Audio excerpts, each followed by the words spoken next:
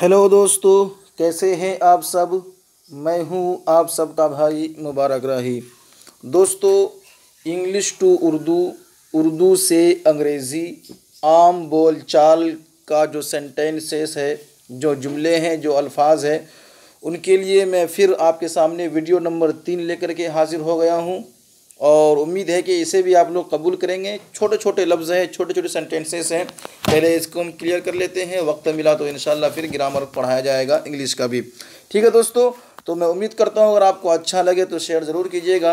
और अगर आप नए हैं तो दोस्तों सब्सक्राइब ज़रूर कीजिएगा। और पुराने हैं तो दोस्तों लाइक और कमेंट करके फीडबैक देना आपका हक बनता है, ताकि हमारी हिम्मत और हौसला और संतुलन बरकरार रहे, ताकि मैं फिर आपके सामने कुछ इस तरह के मेहनत कर सकूँ। चलिए शुरू करते हैं दोस्तों।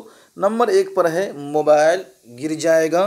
तो मोबाइल गिर जाएगा, इसका इंग्लिश होता है दोस्तों, the mobile will fell down, the mobile will fall down. याद रखिएगा, इसी तरह मिरर के बोल सकते हैं, the mirror will fall down. ठीक है, इसी तरह से और भी एनीथिंग कुछ कोई भी चीज़ हो, उसका नाम ले, लेकर के आप बोल सकते हैं, the mobile will fall down.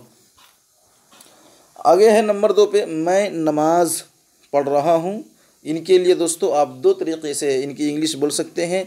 या तो आप ऐसे बोलेंगे आई एम परफॉर्मिंग नमाज़, या फिर आप बोलेंगे आई एम ऑफरिंग नमाज़. उम्मीद है कि आप समझ रहे हैं और आपको फ़ायदा भी हो रहा होगा। ठीक है, नंबर तीन पर दोस्तों क्या है? वहाँ तक जाओ, ये उर्दू लफ्ज़ है, उर्दू जुमले हैं, वहाँ तक जाओ। तो इसका इंग्लिश ये ध्यान रखिएगा इस क्लास को या ये कि वीडियो को देखते समय आप इंग्लिश के वो वीडियोस पढ़ रहे हैं, वो देख रहे हैं जो आम बोल चाल में है। आम बोल चाल में और किताबी, इसमें थोड़ा सा फ़र्क होता है। ठीक है? तो वहाँ तक जाओ। तो इसका इंग्लिश है दोस्तों। Go up to that point ठीक है? नंबर चार पर है पहले आप। अब यहाँ आप देखिए, आपके साथ कोई बड़े बुज़ुर्ग हैं, या आपके टीचर्स हैं, या आपके आदरणीय माता पिता माता पिता हैं, और साथ में कहीं आप जा रहे हैं, या सपोज़ कीजिए आपको गाड़ी पे बैठना है तो आप कहते हैं, पहले आप पहले आप बैठिए। खाना ही खाना है तो पहले कहते हैं, आप कहते हैं, पहले आप निकालिए।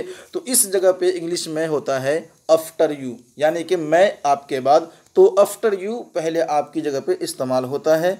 और पाँच नंबर पर है दोस्तों सीढ़ियों से नीचे जाओ। सीढ़ियों से नीचे जाओ, ये उर्दू है और समथिंग लोग इसको हिंदी में भी ऐसे ही बोलते हैं। तो इस, इसका जो दोस्तों क्या है इंग्लिश है, वो ये है गो डाउन द स्टेयर इसी तरह जब वो बोलेंगे कि सीढ़ियों से ऊपर जाओ तो होगा गो अप द स्टेयर तो याद रखिएगा इसको। और नंबर छः पर दोस्तों क्या है? सब्र करो, बड़ा आसान सा है। आपको लग रहा होगा बड़ा आसान है, लेकिन जिसको लगता है कि इंग्लिश बहुत कमज़ोर है, कभी पढ़ाई नहीं है सीरियस और उसका एग्ज़ाम है तो खैर ये तैयारी करें। इनको वो भी तैयारी करें जिनका एग्ज़ाम है और जिनका एग्ज़ाम नहीं, वो भी तैयारी करें जो इंग्लिश सीखना चाहते हैं, पढ़ना चाहते हैं, बोलना चाहते हैं, वो भी यहाँ विज़िट करें, इनको सीखें, इनको पढ़ें और पढ़ने की कोशिश करें और प्रैक्टिस करने की कोशिश करें। तो सब्र करो, इनका इंग्लिश है दोस्तों, क्या है? हैव पेशेंस याद रखिएगा इनको। और नंबर सात पर है, जल्दी मत करो, ठीक है? आजकल जल्दी, हर काम जल्दी चाहिए सभी को तो जल्दी मत करो, आप किसी को कह सकते हैं, इसी को आप इंग्लिश में कहेंगे डोंट बी स्टे बर्न याद रखिएगा इसको।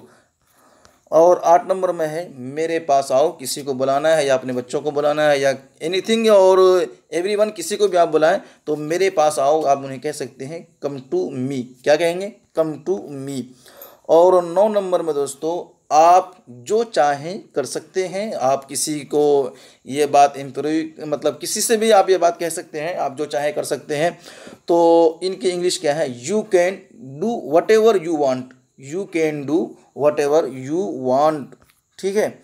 और दस नंबर में है, आपको जिस चीज़ की ज़रूरत है, ले लें, ले लीजिए। ठीक है? और ले लेना, आपको जिस चीज़ की ज़रूरत है, ले लेना। आपको जिस चीज़ की ज़रूरत है, ले लीजिए। ठीक है? इनके लिए जो इंग्लिश है, वो है take whatever you need take whatever you need ठीक है?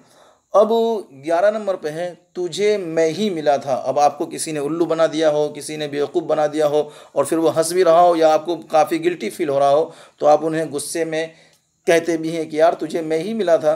तो इसके लिए इंग्लिश क्या है दोस्तों?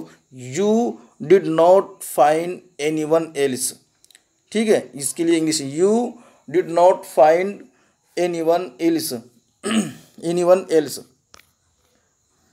और समथिंग यहाँ लिखने में कुछ मिस्टेक है। तो बारह नंबर पे क्या दोस्तों? नाटक ना करो। आप, आपका बच्चा नाटक करता है, स्कूल जाते समय और खाना खाते समय तो आप कोई भी हो, बच्चा भी नहीं, कोई भी नाटक कर रहे तो आप उनसे कह सकते हैं नो डरामा प्लीज़ ठीक है? और नंबर तेरह पे है, तुझसा कोई नहीं। क्या है? तुझसा कोई नहीं, और ये बोलचाल में है, इसीलिए आप कह सकते हैं इनको, यू आर यूनिक, आप सबसे अलग हैं। ठीक है? और तुझसा कोई नहीं के लिए भी, यू आर यूनिक ही होगा। और चौदह नंबर पे है, लगता है आपकी आँख कमज़ोर है। तो आपके सामने इनकी इंग्लिश है, it seems your eyesight is weak. और पंद्रह नंबर पे दोस्तों क्या है कि मैं इस कश्मकश से कैसे निकलूँ? उर्दू जुमले हैं और इनका सेंटेंस क्या है इंग्लिश में? How can I get through this dilemma तो याद रखिएगा, पंद्रह नंबर का है how can I get through this dilemma मैं इस कश्मकश से कैसे निकलूं? तो मैं उम्मीद करता हूँ आप लोग समझ गए होंगे जो चंद जुमले थे।